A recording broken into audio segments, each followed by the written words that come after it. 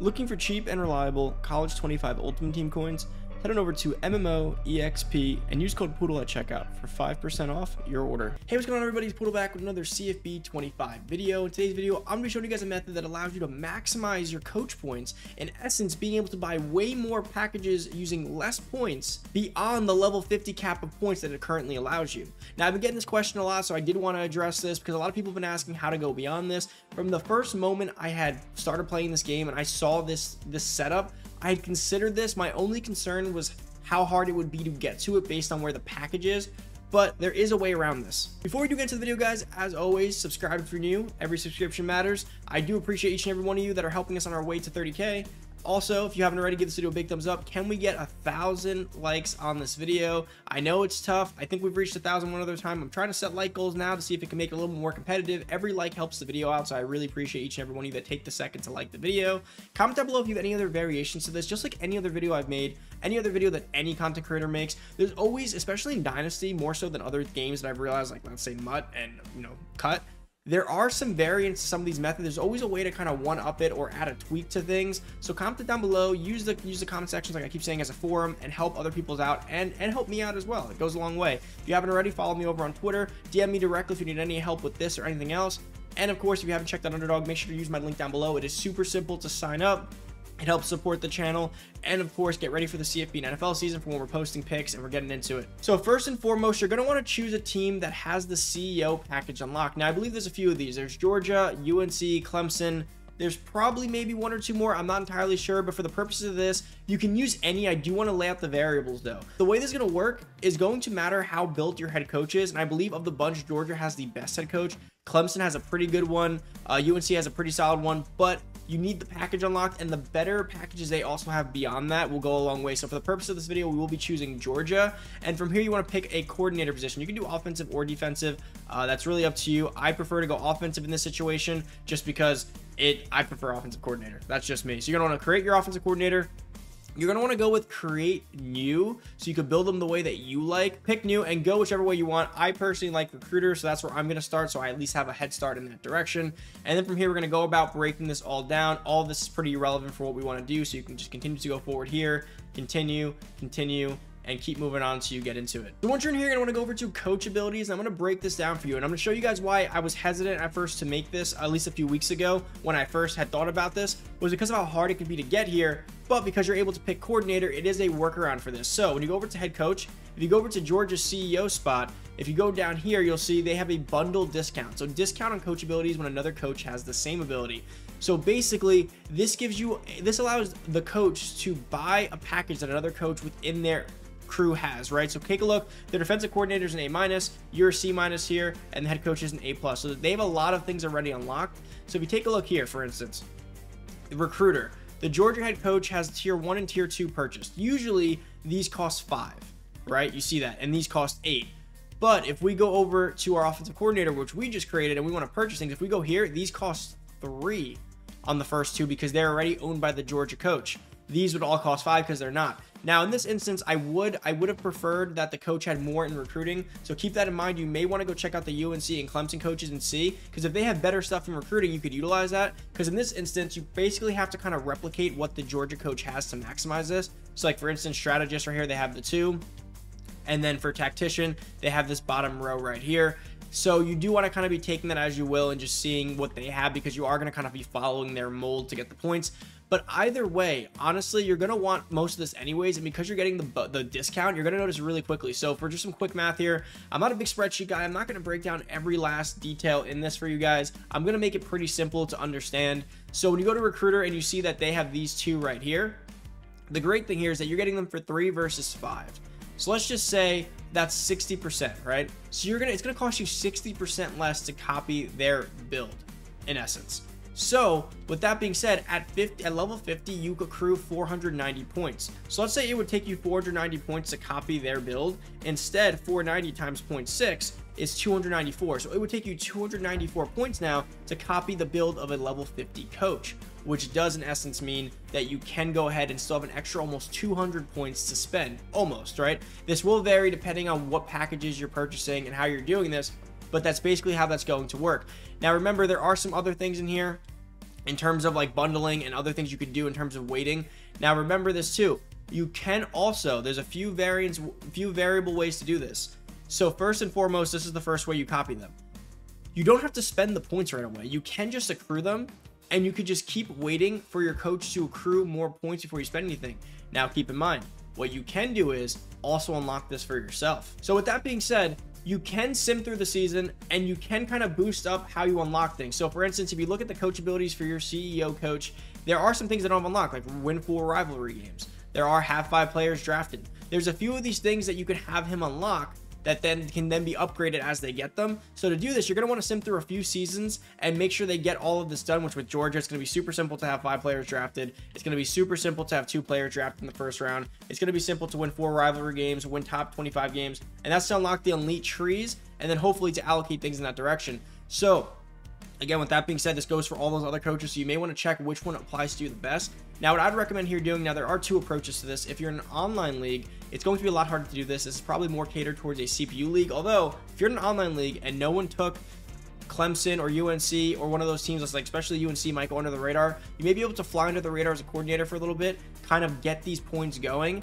and then popping back out with a head coach offer. You can go ahead and match their build, but you also can just wait you can just wait while you unlock all these things and see what ends up happening while you also get other get other abilities. So what i'd recommend from this point on doing if you're on an offline league if you want to just kind of set this up you can go ahead to custom schedules and just give your and give yourself the schedule you want as well as go in and give yourself force wins so if you go over to your schedule you can actually give yourself wins for everything you're gonna have to advance past the first week to actually see the finalized schedule because this is custom schedule week but at this point you can go ahead and just give yourself force wins and or force losses which i wouldn't see why you do that but you go over to team schedule and you can go in here and give yourself wins. This will give you an easy way to sim through. So if you click on it and you click on any of these, you can force action. So in this instance, versus FCS Southeast, you are home here, so you, you can give yourself a home win in this instance. If you are home against Clemson, you can do force home win here, and you can keep going through and doing the same thing. Kentucky's at, so force away win, and so on and so forth. This will make sure you go undefeated while simming, while you have your coach accrue other things, while you get players drafted, and while you unlock the other tiers. Also important while doing this, again, this all comes down to you as a user. I've said this in all my other videos. A lot of these methods are kind of like cheating slash cheesing the CPU.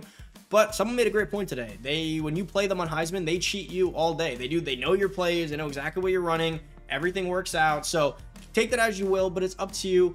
Uh, the way I see this in some instances is like you don't have to necessarily start your career now, right? You can just do this. You can accrue the maximum amount of points and get efficient with it and then you can start taking other offers and go where you want to go with this. So that's the that's the most important thing here. So once you've applied the force wins, you are going to want to go ahead and advance to the first playoff. Like I said, unless you want to actually play the game, that's up to you. But you do want to go through in advance, and I'll show you why. So after we sim through with all those wins, first and foremost, you get a ton of coaching points. You level up quite a bit, being that you are with Georgia, and you're you're hitting a lot of coaching goals, and you're getting a lot of what you want. Make sure auto recruiting is also on. That way, you can just make sure that your team's still recruiting throughout all this.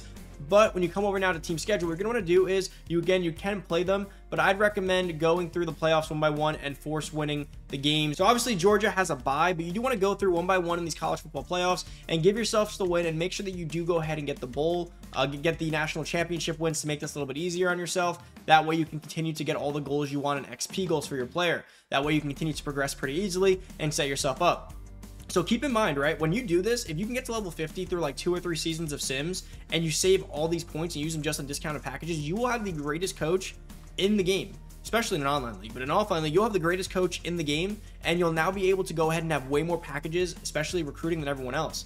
And to keep in mind that even if you just do the discounted packages for 290 or whatever it is, you then can use the remainder to just maximize your recruiting. And you don't have to get all of them. Some of the discounted packages may suck. Keep that in mind, right? If we go on back over to our coach abilities here, you may come and notice that some of the abilities just aren't great. You may look and see right here, right? Tactician, they may have ability to boost change of pursuit, change of direction of pursuit. Do you need that? Not really. So don't waste your points there. Just take the ones that are actually good or useful. And like right here, the bonus XP, pretty good. Do I want them to stay hot through timeouts? Probably not. I'll just buy the maybe pay it forward potentially if I wanted them, right? Just take the ones that you absolutely think are useful in terms of here like booster complimentary visits. These are pretty solid at the cheap price point. So take the ones you want and then save the rest and so on and so forth right? So you want to keep going through continue to keep force winning through and you'll quickly see how quickly this coach can grow. So we've simmed through we gave ourselves force wins through the national championship. As you saw from a level zero coach from a starting offensive coordinator coach with Georgia, we were able to grow our coach up onto a level 19 coach of 185. Still have yet to spend a point. The key is going to be to just keep doing this. Make sure that you do accrue all your points and all your bonuses and spend first before leaving. Sim through the second season. Now, this was a great example to show you how this works. So we went 0 to 20 in one season winning the Natty. In this second season where we didn't force on anything and Georgia somehow went 6 and 6, we only went up like a two, maybe three levels max here, maybe one. So keep that in mind that force winning is super important to kind of speed run this coach. So remember, you have to go through and spend your points and get all your bonuses and get to level 50 before you leave. I'm just showcasing this to show a few other points in this video, but make sure you get to your level 50, you force one through, and you get there and you spend all your points and all the bonus ones that you do want. Because as you see, this will be the last chance we have here to get the threes once we go to our new head coaching job that we did accept. So make sure you do go through and you do purchase all those beforehand. And now I'm gonna get to the next part so I can show you another aspect of this. So this is what I did want to showcase, which is super cool about this you do actually keep your bonuses from the previous coach. So as you see here, win five playoff games, that's three. Win a national championship, that's one. So the point here is in that second season, third season, so on and so forth, you want to make sure that you do keep going through and force winning the national championship. By doing that, you will actually be your own CEO coach. So this is where the second part of this video comes into play. Let's just say you took all the bonuses from the first coach, right? Only the ones you wanted. So let's say you have a total of 490 points, but you only liked about 220 points worth of bonuses from the first coach. So what you're going to want to do is you're going to want to spend those 200 that you definitely wanted, right? Just do the ones of the guys you definitely wanted from the first one and save the remaining 200 give or take. At that point, once you come to your new school, you will have the CEO coach unlocked. And by the way, you don't have to take a great job offer. You could take like a one star, two star school and build your way up just as a CEO coach with better benefits, which will help you a lot. But at this point, you'll have CEO, program builder, you'll have everything unlocked if you do actually go ahead, except for the ones you have to spend points in. You're gonna have to spend points. We haven't spent points in this guy yet, so it depends on what you end up doing. But you'll have 200 points with CEO unlocked. Once you're in CEO, you can go and do bundle discount which means coach abilities when another coach has the same ability. You get a discount. So the first thing you do is go in here and spend 100 on any tree, which you already did because you already would have used some of the discounts from the other guy. You can go into CEO and you can now buy the bundle discount again but for your coach. And now you have 18. Now the key here is your coordinator. So if you go to a great school, of course, this is where it's going to differ. If you go to a bad school, I wouldn't recommend spending more points yet. I'd wait to get better coordinators. If you go to a great school that has A, B plus coordinators, they're going to have stuff like motivator maxed out, let's say, right? So this coach has motivator maxed out on, let's just say the kickers or let's do that, looks ugly. Let's do the linebackers. Linebackers. So when you go back over to your coach and you go to buy your motivator packages, or I'm going to purchase this for the sake of this video, and you go in here, these will be discounted. The reason they're not yet is because we don't have the bundle discount yet, but if you did, these would be discounted. So this is a great way to double, triple, quadruple up on your benefits. So to recap it all for you guys, you're going to want to pick be a coordinator for Georgia or one of the other teams. You're going to want to force win the first two seasons and make sure you win at least two natties and complete all the other goals. Once all the goals are completed, such as Georgia, you may want to manually recruit to make sure you do get all those goals completed. Once you do all those goals, when you end up leaving this team, and again, you might I would wait to your level 50. Get to level 50 first, it'll be super simple, at which point you can then come out and take your own head coaching job. Once you have your own head coaching job, it's probably easier to take a good school because then you'll have good coordinators, but save your points. Only spend the ones that you absolutely want from the other coach.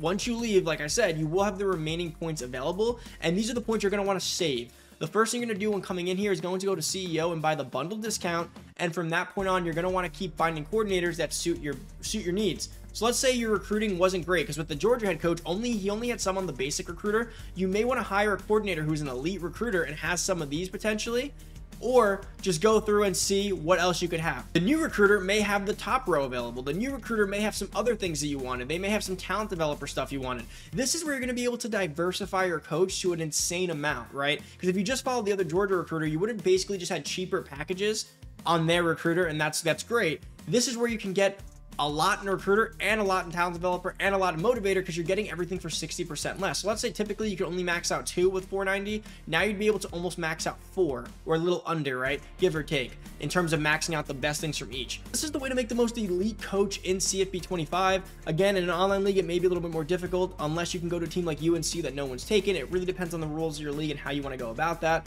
But in offline leagues, this is a great way to kind of set yourself up and set the foundation for your coaching career. And it doesn't really matter that you're simming through seasons because it's all the same at the end of the day. It's going to be all these new recruits. Nothing's going to have any consistency anyways. But it comes down to you and your morals and how well and how much you want to create a storyline for yourself here. But if you follow this, your coach will be elite. The way I want, the way I see it is instead of having a level 50 coach, you're going to have the equivalent of like a level 75 to 100 coach because of all the extra points you're going to be able to accrue through doing this. I do want to quickly give a shout out to Fendler. He posted this video a few days ago as well. Like I said, I had the idea for how this would work as a head coach. I never considered the offensive coordinator side of it, which is a great was a great variable and switch around perspective on this method, which made it way more possible than trying to get the head coach version of it first, especially starting at Georgia. So I do want to just make sure I give some credit on that one. But that's about it for the video. I hope you guys did enjoy. If this video helped you out at all, please give it a thumbs up. A thousand likes would go a long way in helping the channel out. Subscribe if you're new. Comment down below any other methods you guys may have or variances to this that make this even better. Help out the viewers down below and the community. And of course, check out Underdog and follow me over on Twitter. Thank you so much for watching. I'm out. Peace.